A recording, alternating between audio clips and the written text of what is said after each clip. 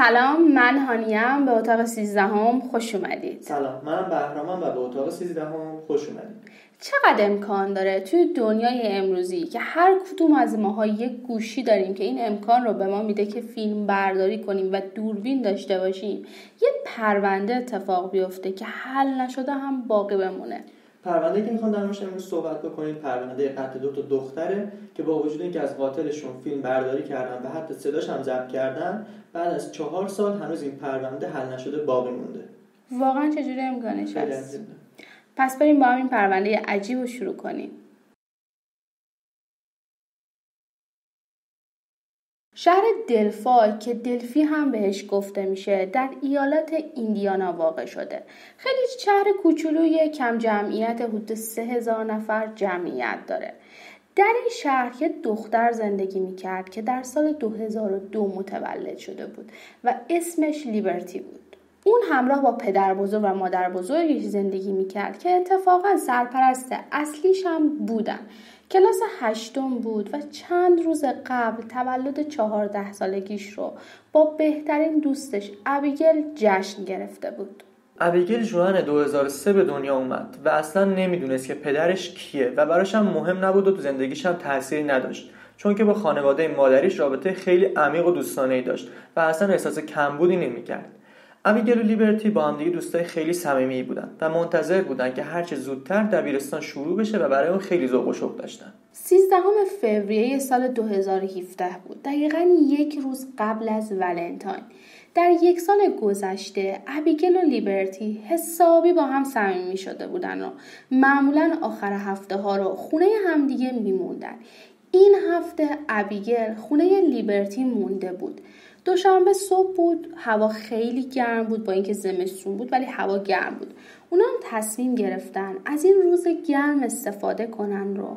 با هم برن یه پیاده روی بکنن. بنابراین در حدود ساعت یک و چهل و پنج دقیقه بود که خواهر لیبرتی لیبرتی و ابیگل رو برد به یه مسیر پیاده روی که معمولا بهش میگن مونون های مونون های یه پل خیلی قدیمی و بزرگه که در سال 1890 ساخته شده.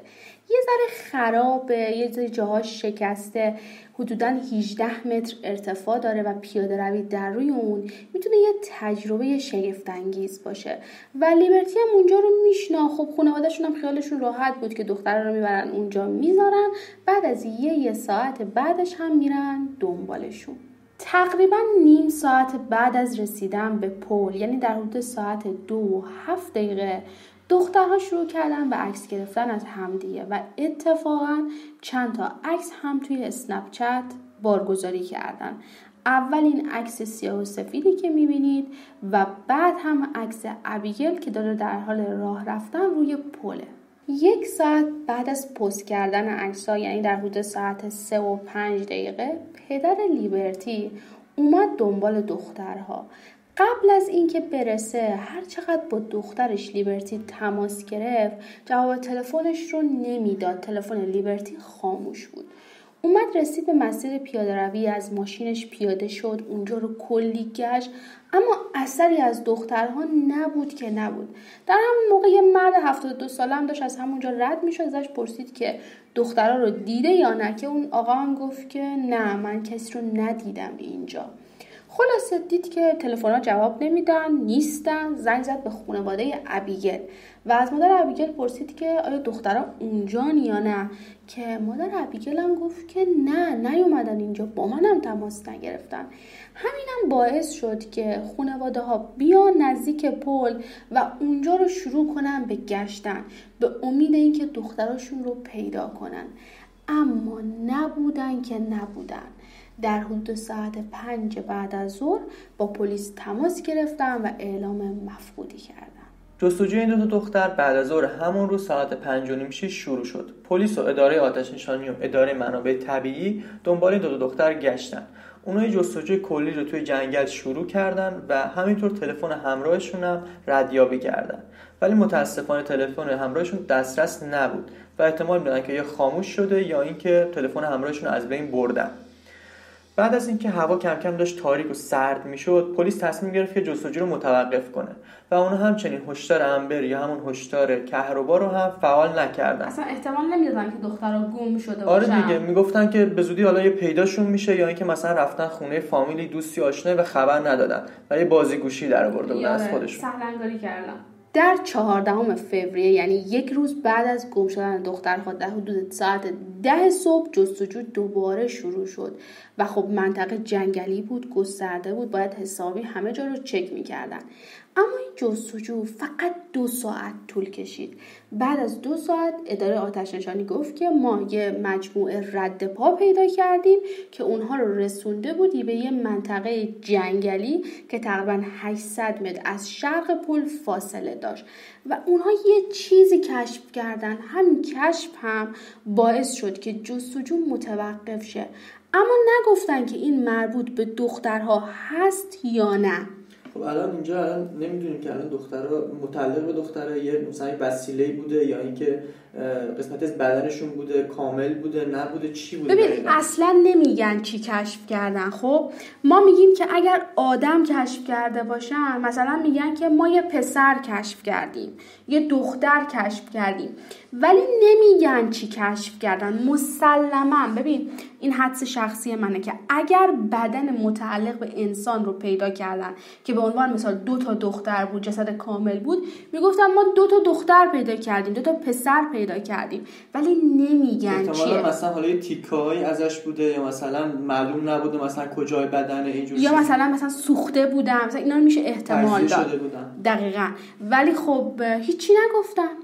این چیزهایی که پیدا کرده بودن در یک قطعه زمین پیدا کرده بودن که از بخت بعد مالی آقایی بود به اسم رونالد لوگان که البته پلیس گفت که این آقا هیچ ربطی به این داستان ها نداره ولی صرفا این تیکه های زمین مال همین آقای رونالده.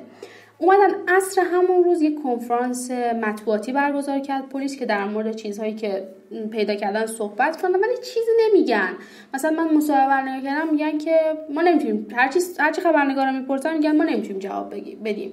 ما نمی‌تونیم بگیم چیه. با قطعی دیگه بدون اینکه بگن آره. نمی‌تونن چیزی از خودشون در بیارن. نمی‌تونن بگن اصلا اصل چون نمی‌دونن هنوز چیه. با این حال بریم یه تیکه کوچولی از این مصاحبه رو ببینیم. Is that the Sugar Creek? Deer Creek. Deer Creek, sorry. In Deer Creek, uh, about a mile east of town. Um, we are investigating this as, as a uh, crime scene. Uh, we suspect foul play. Uh, we have not made positive identification of the two bodies, so we're not going to be releasing any information on them at this point in time. روز بعد یعنی در 15 فوریه 2017 پلیس اعلام کرد اجسادی که پیدا کردن در حقیقت متعلق به ابیگل و لیبرتیان و دو تا دخترها کشته شدن علنا. ولی برعکس خیلی از پرونده ها چیز عجیبی که در این پرونده وجود داره به نظر من هیچ اطلاعاتی به روز ندادن. یعنی نگفتن که اینا چجوری کشته شدن اجساد چجوری پیدا شدن وسیله مرگ چی بوده.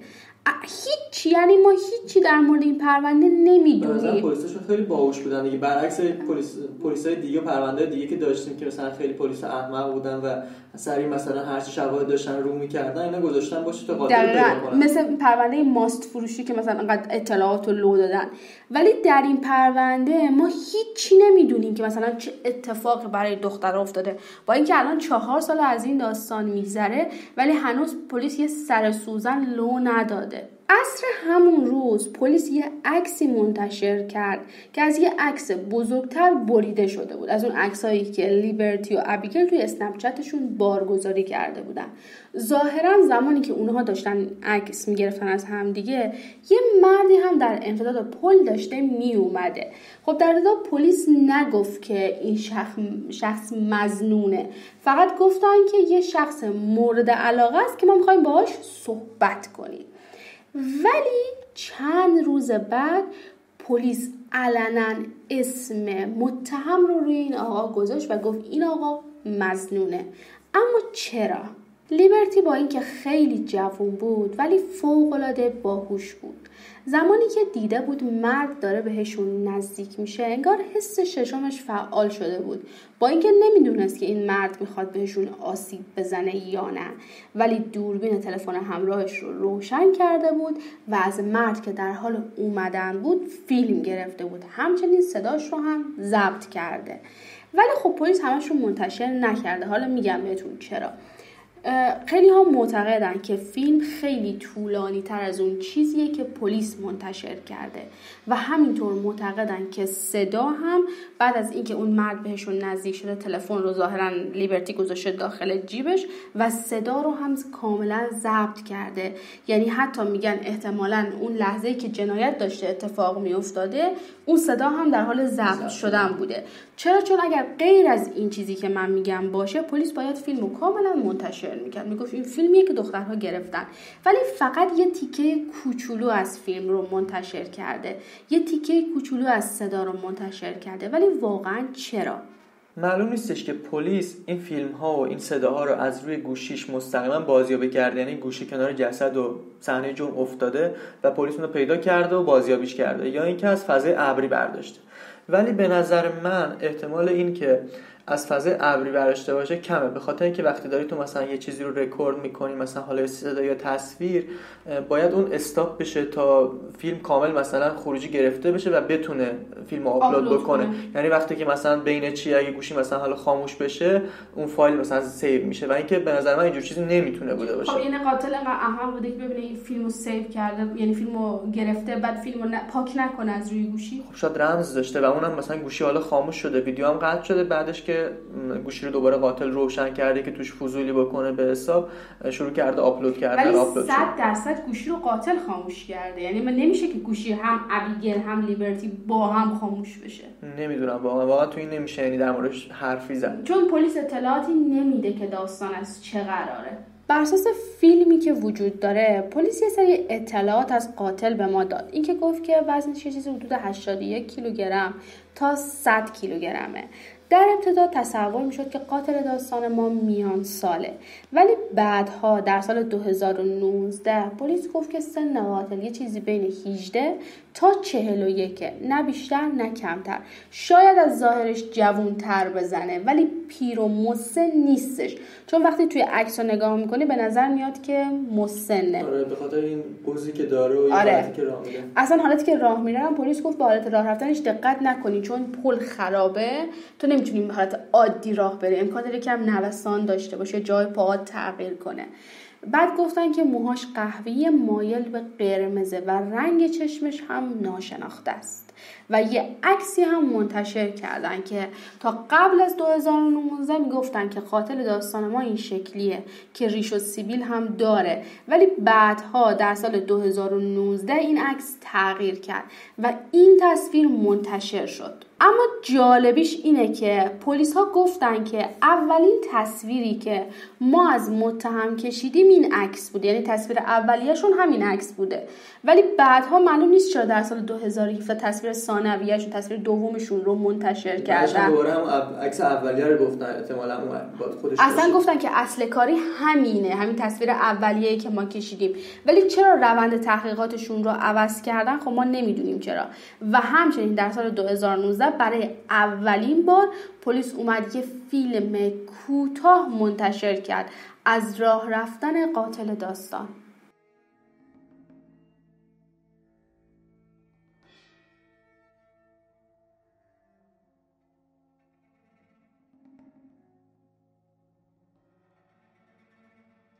و همچنین اومد یه صدا هم ازش منتشر کرد. البته فقط دو تا کلمه میگه. من اصلا نمی‌دونم پلیس چرا همین دو کلمه هم تازه منتشر کرده.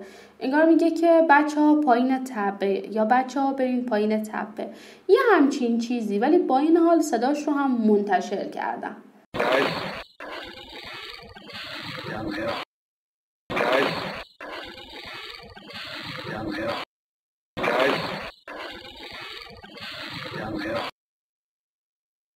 پلیس اول گفتن که قاتل یه فرد خارجیه و متعلق به دلفای نیستش و از یه شهر دیگه جای دیگه اومده و این قتل رو انجام داده. یعنی یه قتل تصادفی بوده. آره تصادفی بوده.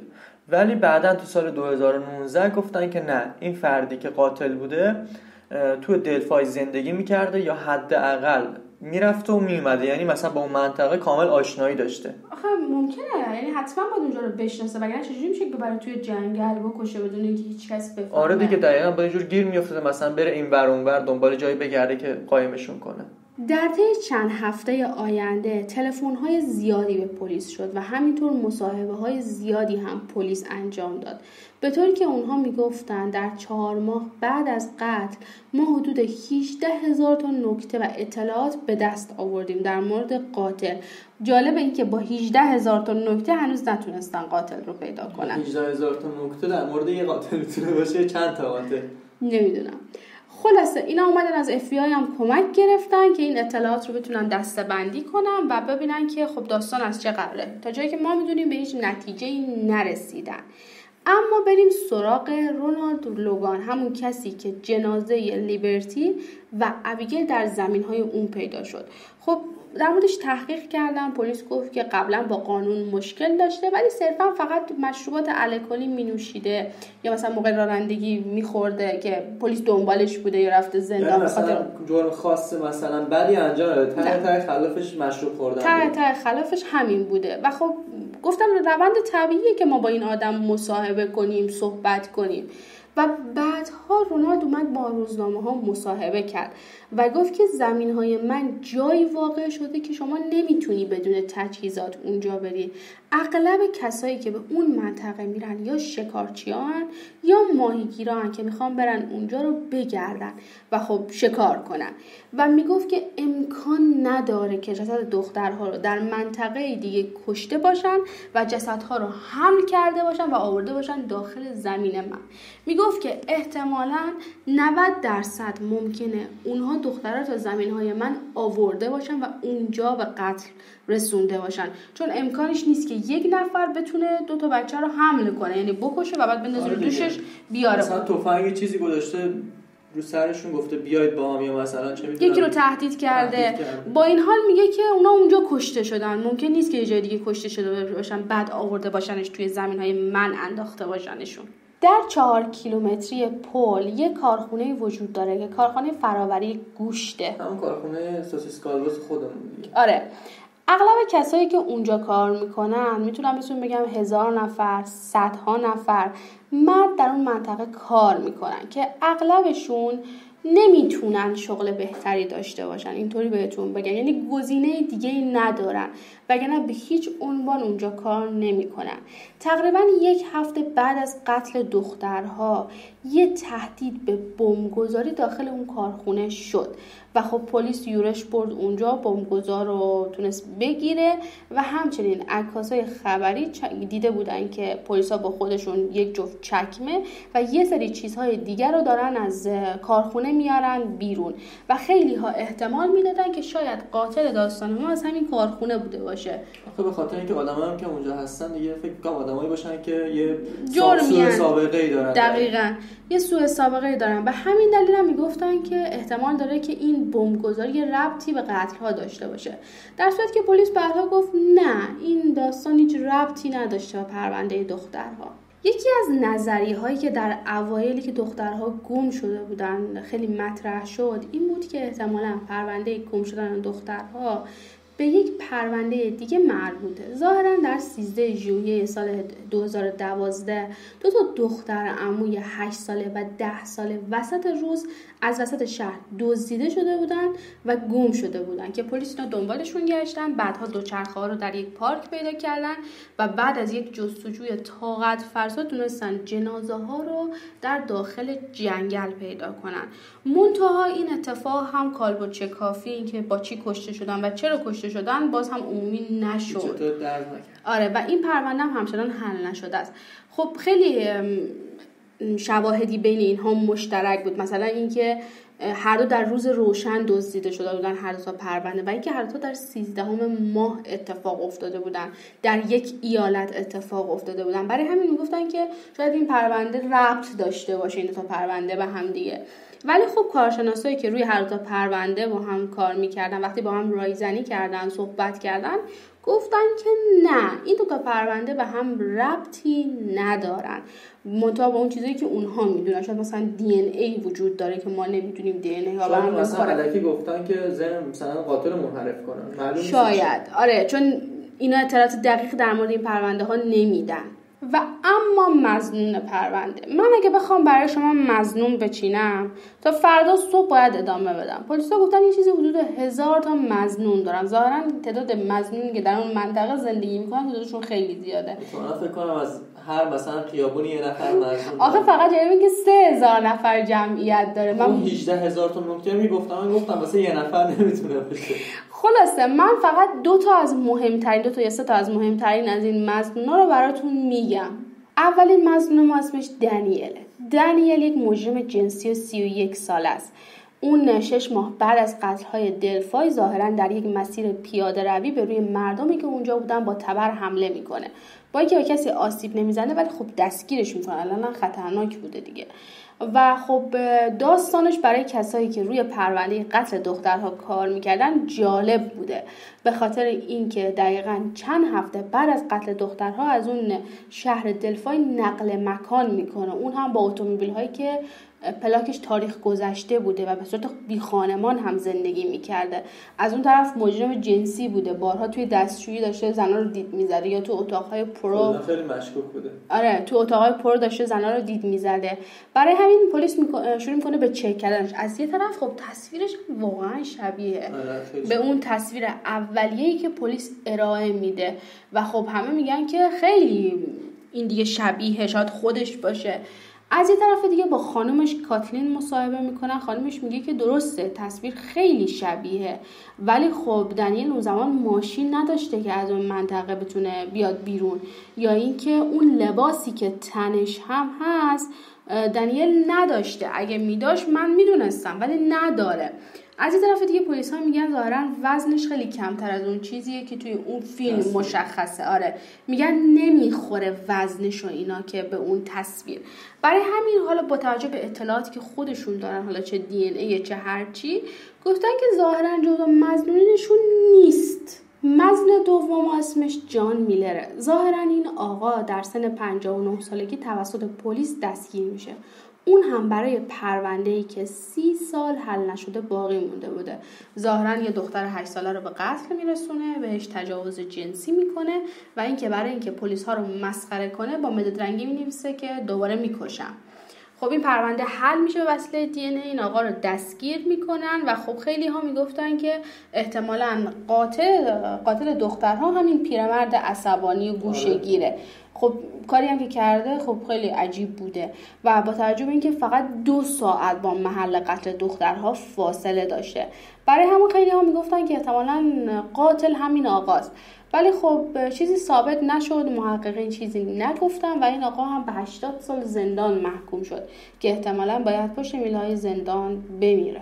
مدت ها پیش که من داشتم روی این پرونده کار می‌کردم و خب میخوندم این پرونده رو مزنون زیادی براتون ردیف کرده بودم خودش اما یه دو ماه پیش یه مزنونی اومد روی کار که ما قبلا اسمش رو نداشتیم جزو مزنونیمون به اسم چادول ظاهرا این آقا یه دختر نه ساله رو دزدیده بوده زمانی که داشته اون دختر سرکار رو نوازش می‌کرده با یه چیزی ضربه زده به سر اون دختر نه ساله و اونو دزدیده و با خودش برده خونش و توی زیر زمین قل زنجیرش کرده.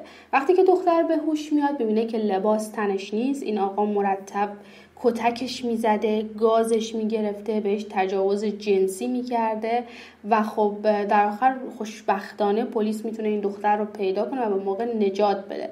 هرچند دختر ادعا می‌کنه که ظاهرا چادول قصد داشته به قتل برسونتش. اما از اونجا این پرونده پر سر صدا شد که این چهره این آقا بسیار شبیه به عکسی که پلیس در سال 2019 منتشر کرد.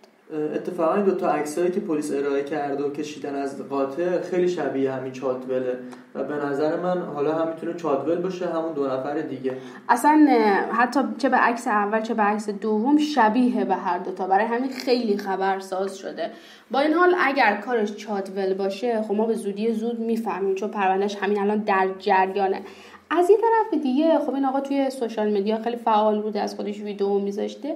یه خالکوبی داره که عکس یه دختره و خیلی ها گفتن که این عکس شبیه لیبرتیه که البته خب ما نمی‌دونیم این واقعا مثلا یه حدسه یه کار بیمارگونه است.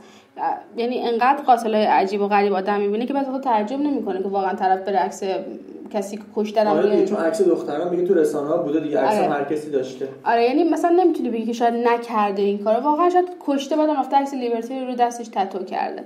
با این حال اگر کار چادول باشه ما متوجه میشیم. ولی خب پلیس نمیگه که دی ای داره یا نداره. اصلا هیچ چیزی در مورد این صحبت نمی‌کنن.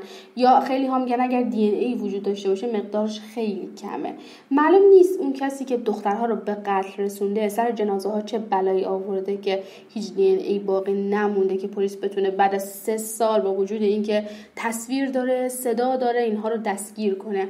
و خب یه 225 هزار دلار پول جمع شده بود که برای کسی که بتونه قاتل رو معرفی کنه ظاهرا امسال هم یک خیر ناشناسی 100 هزار دلار دیگه اضافه کرده و الان مبلغ جایزه 325 هزار دلاره برای کسی که قاتل دخترها رو معرفی کنه.